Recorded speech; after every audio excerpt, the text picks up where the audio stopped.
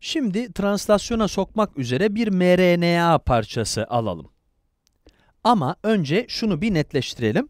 Burada prokaryot bir mRNA'dan söz ediyoruz arkadaşlar. Yani prokaryotik daha doğrusu.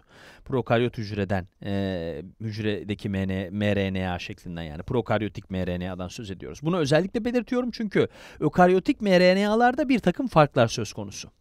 Bu farklara daha sonra değineceğiz. Evet, 5 üssü ucundan başlayalım. Burada kodlayıcı olmayan bu sarı renkli bölgeyi görüyoruz. Ribozom, mRNA'nın bu bölgesini çevirmeyecek. Yani burada ne yazılı olursa olsun polipeptit zincirimizde yer bulamayacak. Kodlayıcı olmayan bölgelerin de belli işlevleri var. Ama şimdi o konuya girmeyeceğiz. Kodlayıcı olmayan bölgeyi Shine-Dalgarno dizisi yani bu mavi bölge takip ediyor. Ribozomun tanıyıp bağlandığı bölge burası. Buraya bir ribozom çiziyorum ki hatırlatıcı olsun. Sonra kodlayıcı olmayan bir bölge ile daha karşılaşıyoruz. Gerçekte çizdiğimden biraz daha büyük veya biraz daha küçük olabilir. Ve nihayet başlangıç kodonuna geliyoruz. Bu AUG kodonu, ribozoma çeviriye başla komutunu veren kodon. Sonra ribozom tüm bu kodonları okuyor ve karşılık gelen polipeptidi üretiyor. Bu bölgedeki tüm kodonları daire içine alacağım. Böylece sentezlemekte olduğumuz bu polipeptit zincirinde kaç tane amino asit olacağını bilebileceğiz. Bu bölgede 10 tane kodon var. 10 tane kodon olduğuna göre oluşacak polipeptit zincirinde 10 tane amino asit olacak demektir. Öyle değil mi? Amino asit sözcüğünü AA şeklinde kısaltıyorum. Bir fikriniz olsun diye söylüyorum. Bu çok küçük bir polipeptit zinciri. Vücudumuzdaki polipeptit zincirlerinin çoğu 200 ila 300 amino asitten oluşur. Pekala, ribozom bir noktada turuncuyla gösterdiğim bu bitiş kodonuna ulaşacak.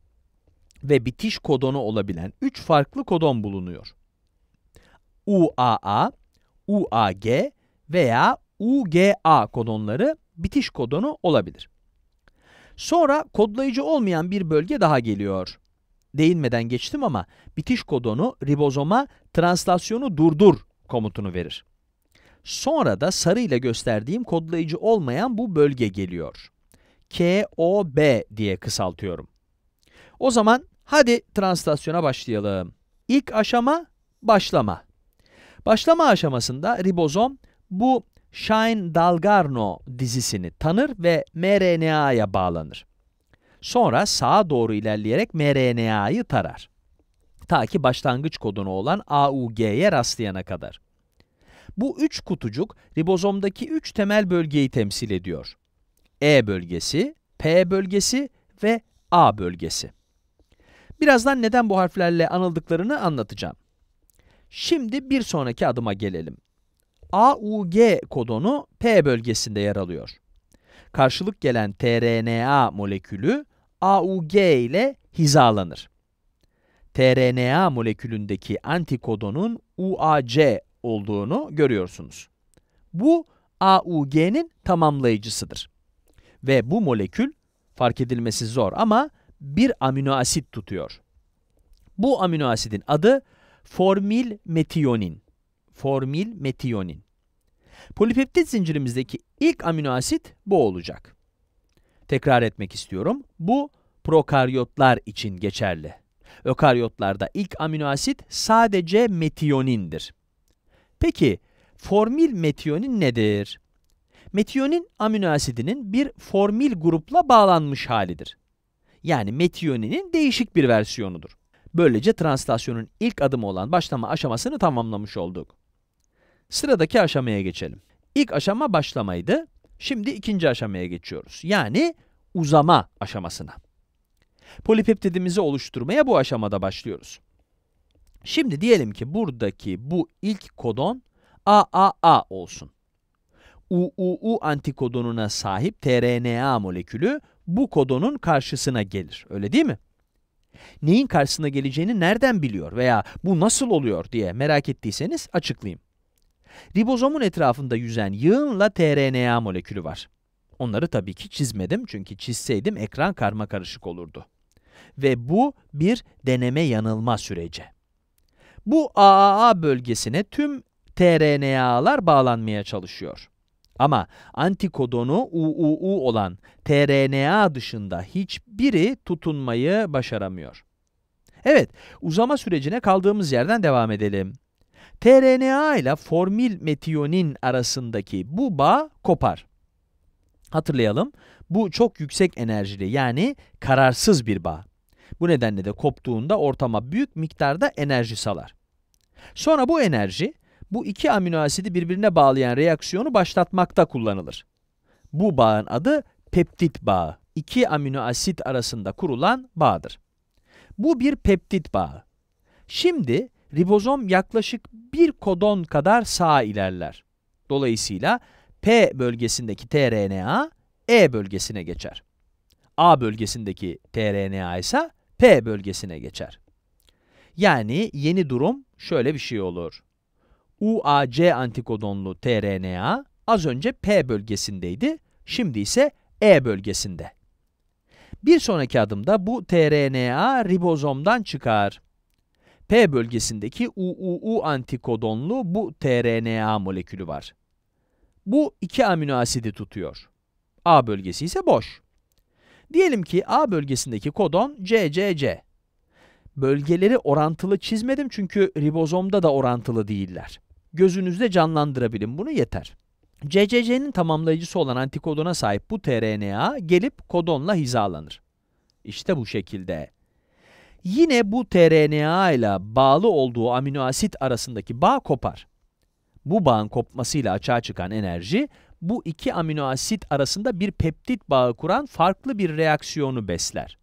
Ve ribozom bir kez daha yaklaşık bir kodon kadar sağa ilerler. Yeni durum şöyle olur. Hala uzama aşamasının içindeyiz. P bölgesindeki tRNA E bölgesine geçti. A bölgesindeki tRNA ise P bölgesine geldi. A bölgesi yine boş. Şimdi bir ara verip bu bölgelerin niçin bu şekilde adlandırıldığından bahsetmek istiyorum. E, çıkışın İngilizcesi olan exit sözcüğünden geliyor. Çünkü tRNA molekülü çıkışı bu bölgeden yapıyor. Çıkış bölgesi. P bölgesi ise kısaca peptidil tRNA bölgesi demek. Yani P bölgesinde duran bu tRNA peptidil tRNA oluyor. Çünkü büyümekte olan polipeptit zincirine tutunan tRNA bu. A bölgesi ismi ise aminoasil tRNA bölgesinin kısaltılmış hali. Keşke bölgenin kendine daha yakın yazsaydım. A bölgesi aminoasil tRNA bölgesi demek, P bölgesi peptidil tRNA bölgesi demek.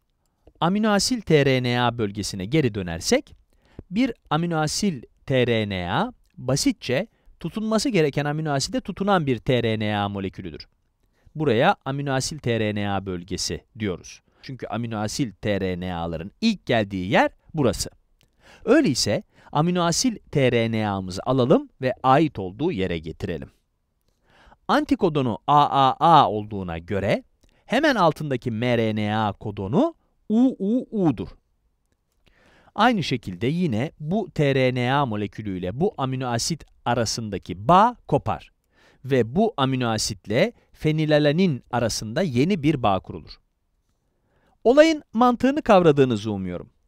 İşlem tamamlandığında ribozom yine sağa doğru ilerler. Biz tüm kodonlar için aynı şeyi tekrarlamayacağız ama ribozom tüm bu diziyi okur. Biraz e, ileri sarmış olduk. Sonra birden bitiş kodonuyla karşılaşır. Bu da bizi translasyonun son adımına götürür. Translasyonun son adımı sonlanmadır. Bu bitiş kodonu A bölgesine girince gerçekleşir. Görüyorsunuz, girmiş.